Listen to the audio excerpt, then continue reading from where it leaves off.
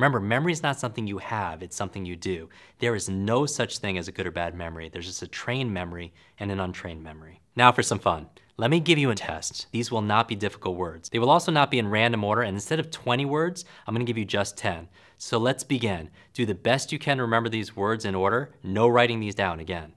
Here we go. Water bottle, balloon, battery, barrel, board, diamond, Knight Rider, ox, toothpaste, sign. Okay, take a minute and write down as many of the words as you remember down below in the comments.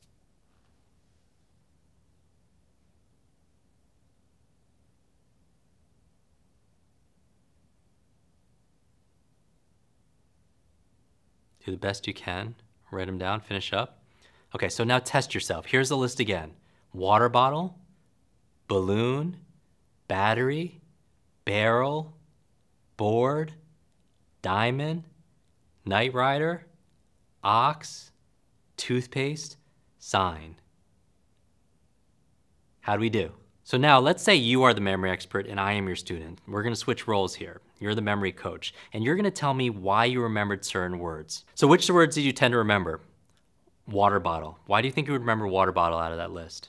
Because it was what? Because it was first. And so first is a principle of recall. What we're gonna do here is we're gonna find out what words you remembered and why you remembered it. So you remembered water bottle because it was first. And in psychology, they call that primacy. You tend to remember things in the beginning. If you get a list of words, you probably remember the words in the beginning because those are first. If you go to a party and meet 20 strangers, you're more likely to remember the people in the beginning of the party because you met them first. Okay, that's primacy. What other words did you tend to remember? Did you remember the four B's? Balloon, battery, barrel, board. A lot of people remember that. Why do you think you would remember that? because it's organized, right? That there's a pattern there. Do you tend to remember things that are organized? Of course. If I gave you a list of 20 words, I asked you to memorize the words, you probably remember five, six, seven of them. But if I tell you, okay, they're gonna go in these four categories, they're presidents, fruits, state capitals, and colors, you're more likely to remember it because it's organized. What other words on that list did you remember? And tell me why. Knight Rider, right? Knight Rider stood out. Why? Because it's unique. Now, unique or something being outstanding, that's a principle to memory. That's a principle of recall. We tend to remember things that are unique. What other words did you remember? The last word, right? What was the last word? Sign. Why? Because the opposite of primacy, it's recency. You tend to remember things that are more recent or things at the end. Same thing, if you get 20 words, you're more likely to remember the words at the end. If you go to a party, you're more likely to remember the people that you met towards the end of the party. So that's recency. By the way, something that could serve you right now, especially if you're studying, I don't know if back in school if you uh, if you really studied to remember or you crammed and you forgot. You remember you you didn't study for weeks and then all of a sudden you have an exam coming up and you pull an all nighter and you study for six, seven, eight, ten hours straight and you can't wait to take the test because once you take the test you don't want anyone to talk to you before that because you don't want the information to like spill out. And once you take the test, what happens? It all disappears, right? But your memory is kind of interesting. We're talking about primacy and recency. That means you tend to remember stuff in the beginning and stuff at the end. The stuff in the middle you lose right? So if you study for eight hours, you remember stuff in the beginning and end, you lose all that stuff in the middle. And so we encourage people to take breaks, at least every 45 minutes to an hour, because what does that create? Because you have all of these extra hours, you create more beginnings and more ends. Do you see that? So that's primacy and that's recency. What other words on the list do you tend to remember? Some people remember diamond. Why do you think some people remember diamond? Because there's emotion attached to that. There's meaning to it, right? So some people, if you take tech information, that's a principle of recall. If you take information and attach it to emotion, that's the part of your brain. That part of your brain, by the way, your middle brain is where you store long-term memories. That's also where you process a lot of emotions. So it's kind of interesting with your hippocampus and your amygdala. What other words do you tend to remember? Maybe toothpaste. Now, why would some people remember toothpaste? Because maybe it's familiar.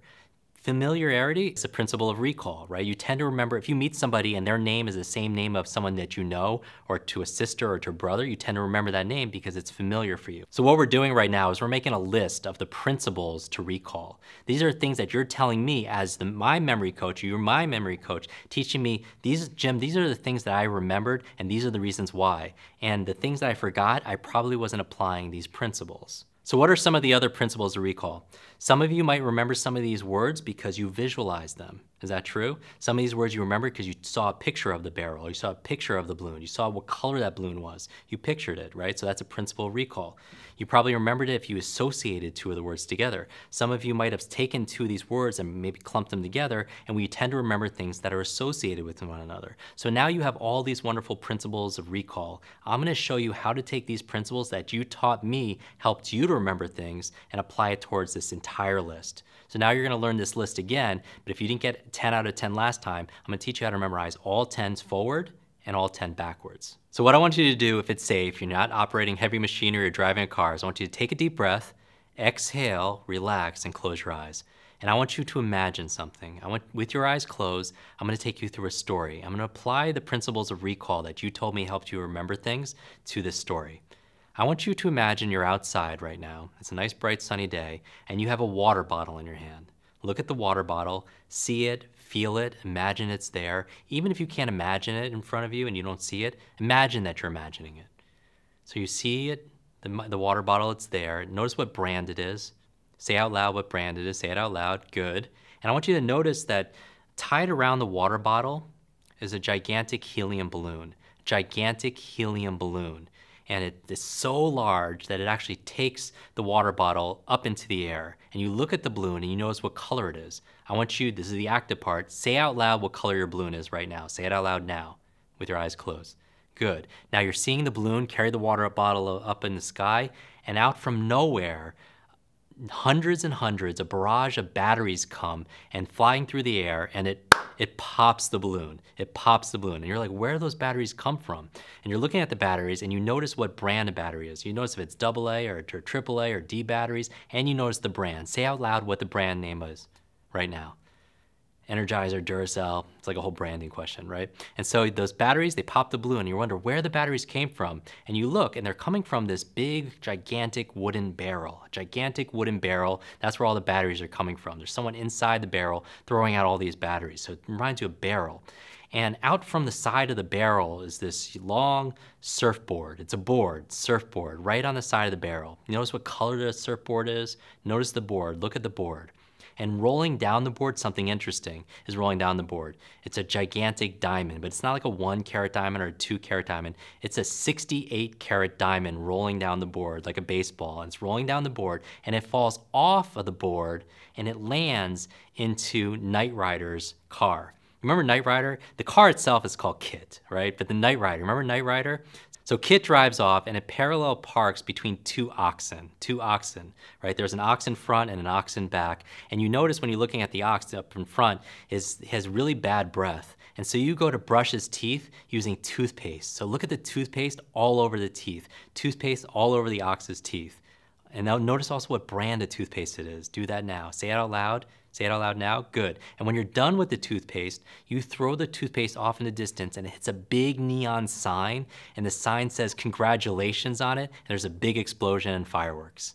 So what I want you to do now, this was a really quick rendition, but I want you to walk through the story in your mind with your eyes closed. Start in the beginning, right, with your water bottle that you're holding, and go through and see if you could name in your mind the 10 different things, going all the way from water bottle to the balloon, all the way to the sign.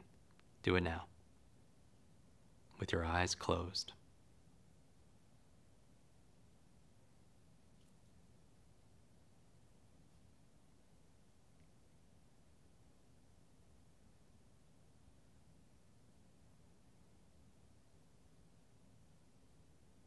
Fast forward, go a little faster in the story.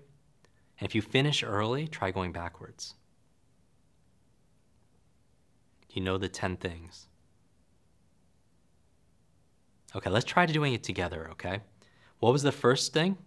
Water bottle. After water bottle was what? Balloon. After balloon was what? Say it out loud. This is the active part. Batteries. After bar batteries was what? Barrel. After barrel was what? Board. You had the surfboard. After board was what? Diamond. Good. After diamond was? What was after diamond? Knight Rider. After Knight Rider? Ox, after ox was what? Say it out loud. Toothpaste, and after toothpaste was what? Sign. Excellent, excellent, excellent. Now try doing it backwards. Let's do it backwards together. Can you do it backwards? Say it out loud. What do you start with? Sign. Before sign was what? Say it out loud. Toothpaste before toothpaste was. Ox before ox was. Knight Rider, good. Before Knight Rider was. Diamond before diamond was. Board before board was. Barrel after before barrel was what? Batteries before batteries was. Balloon and right before balloon was what? Say it out loud. Water bottle. Congratulations. How we do? Now what I want to know is down below in the comments, tell me what you started with on this list. What out of 10 did you remember in the first time? And then what did you remember after you applied the story method? Write it down below in the comments right now. Let's share our results with everybody else. How do we do? Write it down below. And if you did, if you did better, you don't want to get perfect necessarily, because here's the thing: if you didn't get it perfect at 10 out of 10, that's where you learn. And so, if, if for some reason you didn't remember the ox, why didn't you remember it? Did you not make it vivid? Did it was it not outstanding for you? Did you not use emotion? Did you not associate this something else? Remember the principles recall. Those are the principles that are going to help you excel.